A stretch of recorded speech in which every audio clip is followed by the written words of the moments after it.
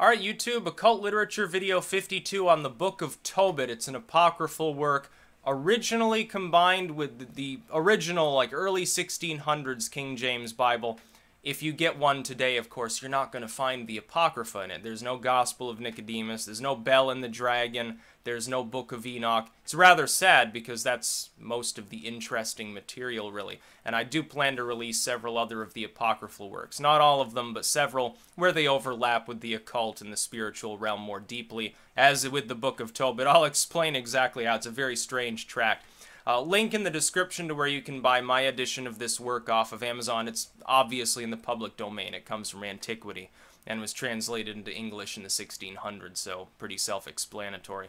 Uh, second link to my books blog, where many other works as well are available. Everything from grimoires to alchemy, philosophical works, social works, anything related to the occult, folk magic, herbal medicine, and so forth. Um, the Book of Tobit is essentially a long story about Tobit, who's he's, he's uh, living in Nineveh, and he's a, a, a rather pious man. He holds to the faith of the God of the Hebrews. Uh, most others around him don't. They're various degrees of fallen away from this path. They're just outright heretics or pagans, or they just sort of mock the idea of this spiritual path. And his son Tobias, uh, of course, goes forth on this journey, uh, is guided by the archangel Raphael, actually, uh, in this story, but though he doesn't know it at first, in order to go secure marriage and, and collect money that Tobias is owed by a friend and so forth. They put in trust uh, to go forth and make his life and do all the things that he needs to do. Unfortunately, the person that he wants to marry, or that Tobias rather has suggested he should marry, uh, is actually under the amorous spell of Asmodeus, which is a demon you'll know from the Ars Goetia, demon of lust. Uh, Asmodeus has caused several of her suitors over time on their wedding night to die and thus she's been married a number of times each time Asmodeus kills the suitor because he feels jealous. He wants to have, I guess, nocturnal uh, intercourse with this woman over and over. And uh, this is also, I believe, Tobias' uh, cousin, which is rather funny, but not unheard of in those days. But uh, anyway, the archangel Raphael uh, aids him because Tobit and Tobias are both religious. They've found favor with God, and even though they're going through struggles and adversity, they're being looked over, even though they don't really know it. And of course, Tobit has been struck blind. There's a very strange, mystical sounding piece to it because Tobias goes out to bury one of his dead kindred, sort of sleeps by the city walls, and some sparrows actually are nesting there, and they fly over and they shit in his eyes and make him go blind.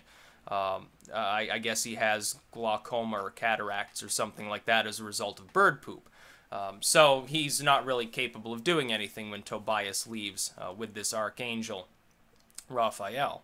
Uh, the archangel then instructs him on how to defeat Asmodeus, uh, as well as later how to cure Tobit's blindness. They live to ripe old ages, and of course, it has a happy ending.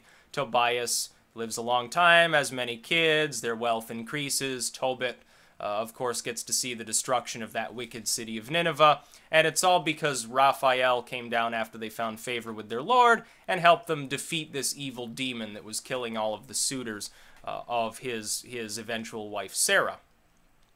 So I decided to release an edition of this primarily because it does mention Asmodeus. It's demonology right there. It talks a little bit about this demon.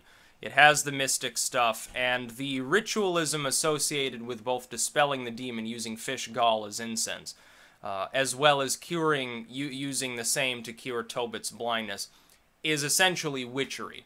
Uh, this would have been part of a larger oral tradition. Now, this is not a canonical work within the modern Protestant movement.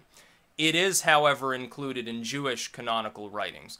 Uh, it is accepted by certain Christians as well. It's just not accepted. You know, you, you go to your average fire and brimstone Baptist church, you're not going to find the book of Tobit in whatever Bible they're using. But you may find it in other compilations uh, over time. It's, it's one of those works that was kind of not accepted and yet is accepted by certain groups, gaining more acceptance over time as opposed to some that are gaining less. Now, the book of Revelation would come to mind, a canonical work that most people don't take seriously anymore, Book of Tobit is seen as more necessarily historical. Uh, it's in period, it is an ancient work. It comes from the BC period. It's not like it was written in the medieval era and we don't have any older manuscripts of it. Extremely important work for occult, for the occult rather, as with most of the apocryphal works. Uh, the standard stories of the Bible have a tendency to omit some of the mystic detail. I think that was I think that's prevalent for a reason. Uh, whereas some of you know Bell and the Dragon, certainly the Book of Tobit or the Book of Enoch, they contain all of these more strange references that really are more of interest to people that are intending uh, to study the mystic paths. Very good work. Uh, it's middling in length for a for a Bible book. You got to realize the Bible isn't a book; it's a compilation of shorter manuscripts. Uh, it would be middling in length as far as those are concerned. Again, link in the description to where you can purchase my edition off of Amazon. Second link to my books blog. That's about all. Peace out.